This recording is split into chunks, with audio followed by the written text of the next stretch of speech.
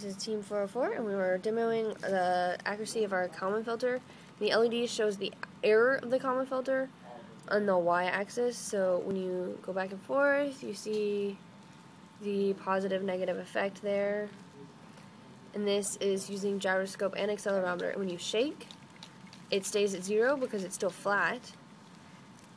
But if we push a button that makes only using accelerometer, the tilt still works, but when you shake it, which it's hard to see, but the LEDs are moving.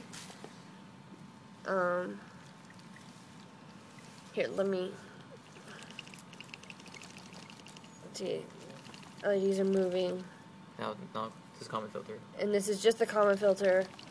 The LED doesn't move. No Kalman filter. No Kalman filter. The difference is going back and forth.